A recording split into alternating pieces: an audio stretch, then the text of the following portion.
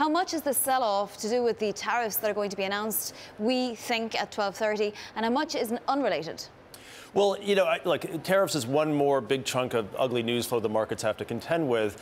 Um, but I, I, think you have to zoom back a little bit uh, for a second. You know, there's been a lot of time when, when uh, geopolitical news flow, uh, the market would shrug it off, right? You know, you could see uh, the VIX even decrease uh, on, on, on some ugly news flow inherent in the market. You have to look at uh, this the price action today is revealing that you know the market has has really been very range bound, and you have some, had some escalation of news flow, uh, tariffs being a big part of that. But I, I also want to point out one thing that almost every VIX spike through 40 uh, from a low base, if you go back to the last several years, you, you, you, know, you get a big market sell-off, you get a relief rally, and then you retest that first low, right? Um, so, so it, the sooner we test that that uh, early February low, probably the better for the market bulls, mm. right? Uh, tariffs is one reason to be selling off here, but again, we just don't have enough details yet. It's a lot of posturing, it's a lot of news news flow. It's very hard to really figure out what's what what the economic uh, fallout's going to be. What is spooking the market, though? I mean, does does the Powell